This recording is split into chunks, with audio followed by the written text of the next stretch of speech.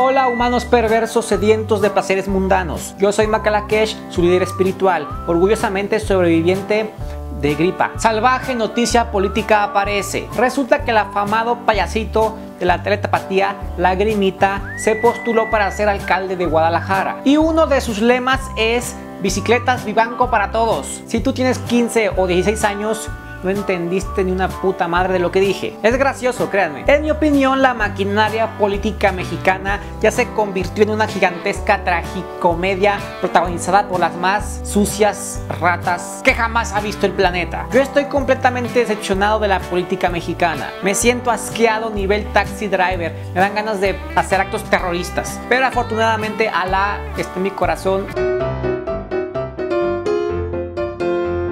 Algo que me encantó de esta carrera política que acaba de emprender Lagrimita fue el cartel que puso en su página de Facebook. Chequenlo, es deliciosamente malicioso, el payaso correcto. Es una buena sátira. Si gana Lagrimita me encantaría ver su gabinete. Secretario de Economía, Burbujita. En turismo pondría a Piojito. En educación pondría a Prolapsito Anal. Y en la Secretaría de Transporte pondría a Sonrisitas. Ahora, ¿cuál es mi opinión sobre esto? Vómito.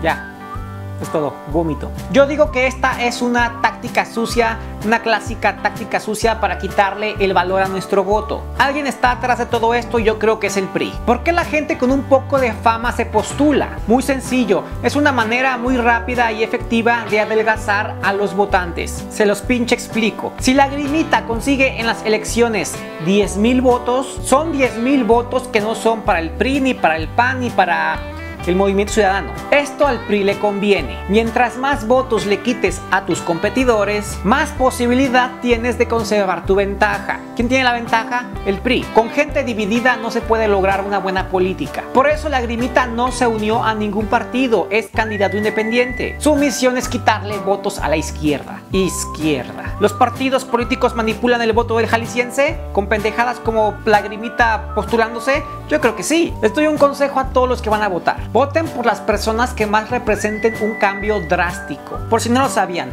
el estado de Jalisco volvió a ser priista después de muchos años. Y esto el gobierno federal lo quiere aprovechar. ¿Pero cómo? Enrique Peña Nieto el año pasado le dio mucho dinero al estado de Jalisco. Un número récord. El gobierno federal jamás le había dado tanto dinero a Jalisco. ¿Pero por qué? Pues porque Jalisco ya es priista. Y a Enrique Peña Nieto le conviene que Jalisco permanezca priista. Y todo ese dinero que el gobierno federal le dio a Jalisco, ¿para qué se va a usar? Pues en parte aquí en Jalisco se está construyendo la famosa línea 3 del tren ligero. Esta línea 3 del tren ligero en Guadalajara va a partir en dos toda la pinche ciudad, de extremo a extremo en 33 minutos. El 70% de esta línea va a ser aérea. ¿Se acuerdan el episodio de Los Simpson del monorriel? Ah, pues hagan de cuenta. La línea 3 del tren ligero aquí en Guadalajara, todos la vamos a poder ver. Nos va a pasar por la cabeza, va a ser muy moderna, va a ser la onda. ¿Por qué Aristóteles Sandoval, el gobernador de Jalisco, aceptó hacer esta obra tan